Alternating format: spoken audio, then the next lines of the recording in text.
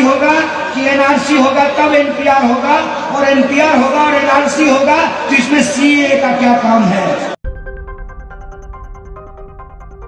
ये जो संविधान की ताकत है, इस संविधान की ताकत को कमज़ोर करने के लिए और देश के लोगों के जो बुनियादी सवाल हैं, रोजी रोटी, कपड़ा, मकान, शिक्षा, स्वास्थ्य, सड़क, बिजली, पानी, आत्मसम्मान, उससे हमारा ध्यान भटकाने के लिए ये तमाम तरीके की साजिश रची जा रही है। क्या? बच्ची सब यहाँ बैठी हुई है। कान छिदवाने के वक्त क्या करता है? हाथ में गुड़ दे देता है। नहीं बाबू। और तुम गुड़ खाने में बिज़ी रहोगी कि फट से कान छेद देता है। उसी तरीके से इन्होंने इस देश में धर्म का नफरती लड्डू बांट दिया है। और हम लोग जब तक लड्डू खाने में लगे हुए हैं, तब तक वो इस देश की संपत्ति को बेच रहा है।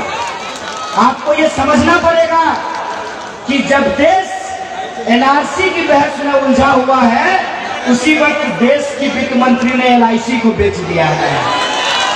देश के गृह मंत्री ने वित्त मंत्री को कहा कि हम आपको एनआरसी से कवर देते हैं, आप एलआईसी निपटा दीजिए। यही हो रहा है ना? इस देश के नौजवानों को यह समझना पड़ेगा कि जब आप धर्म खतरे में है, इस जुमले में फंसे हुए हैं, उसी वक्त देश का BSNL MTNL Bharat petroleum, Bharatiya railway, ये सब खतरे में चला गया है। हमको ये समझना पड़ेगा कि ये पूरी की पूरी राजनीति क्या है कि इस देश के नौजवान नौकरियों के लिए परेशान हैं लड़का बच्चा सब भोरे भोर जाता है स्कूल के फ़ील्ड में दौड़ने के लिए, नदी किनारे दौड़ने के लिए। मार मम्मी जो है उसको दाल का पानी, हॉर्लिक्स, प्रोटीनेक्स खिलाते रहती हैं, ताकि बच्चा का हाइट पूरा हो जाए सीना पूरा हो जाए डिक्स पूरा हो जाए, बहाली में जाएगा तो सिलेक्शन हो जाए। जब बहाली में पहुँचता है, सब कुछ फिट है। आखिर में डॉक्टर साहब कहने की अंगूठा टेढ़ है तुम्हारा। अब तीन लाख रुपया देगा, सब अंगूठा जो टेढ़ है वो सोच हो जाता है। ये है हालत। हालत ये है कि नेताजी का बच्चा विदेश में पढ़ता है। नेताजी रोड पे नहीं चलते हैं। हवाई जहाज़ से उड़ेंगे, हेलीकॉप्टर से। तो उनको नहीं पता चलता है कि मधेपुरा से सहरसा जाने में कितना गड्ढा पड़ता है, कितना जर्किन आता है। उनका बेटा चूँकि विदेश में पढ़ता है, इसीलिए उनको इस बात की चिंता नहीं है कि बिहार के विश्वविद्यालय में तीन साल का बीए पाँच साल में क्यों होता है।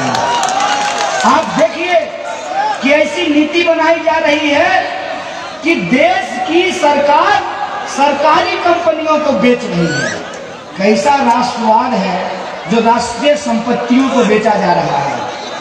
अब सोच करके हमको बताइए कि अगर सरकारी स्कूल नहीं होना चाहिए इनके हिसाब से, सरकारी स्कूल नहीं, सरकारी अस्पताल नहीं, सरकारी सड़क नहीं, सरकारी बस नहीं, सरकारी रेल नहीं तो सरकारी गृह मंत्री लेकर के तबला बजाएँगे उसका। क्या करेंगे सरकारी गृह मंत्री लेकर के? क्या काम है सरकार का? सरकार हमको एक ऐसी नीति में उलझा दी है कि हम मंदिर मस्जिद के झगड़े में व्यस्त हैं, उसी वक्त इस देश के जो उद्योग हैं, जिनको आधुनिक मंदिर कहा गया है, उन उद्योग धंधों को बंद किया जा रहा है, उनको बेचा जा रहा है। अगर हम बिहार की बात करें तो बिहार का सबसे बड़ा सवाल क्या है? बिहार का सबसे बड़ा सवाल है कि यहाँ के नौजवानों को काम करने के लिए, पढ़ने के लिए, इलाज कराने के लिए दिल्ली, बम्बई, कलकत्ता जाना पड़ता है। किसी गुजराती आदमी को देखे हैं? कि आकर के मधेपुरा के बाज़ार में सेब बेच रहा हो, आपके धान के खेत में धान काट रहा हो, आपके मकई का बाइल छोड़ा रहा हो, ऐसा कोई मिला है? हमको क्यों दूसरी जगह जाके काम करना पड़ता है? क्योंकि हमारे यहाँ रोज़गार नहीं है। ये है देश की जनता का सवाल। लेकिन इस सवाल को गुमराह करके हमको किसमें फंसा दिया गया है? एनआरसी एनपीआर ये वैसा ही बहस है कि पहले मुर्गी आया कि अंडा। आप ये बहस करते रहे कि पहले एनपीआर होगा कि एनआरसी। अगर एनपीआर होगा, तब एनआरसी होगा, कि एनआरसी होगा, तब एनपीआर होगा, और एनपीआर होगा और एनआरसी होगा तो इसमें सीए का क्या काम है?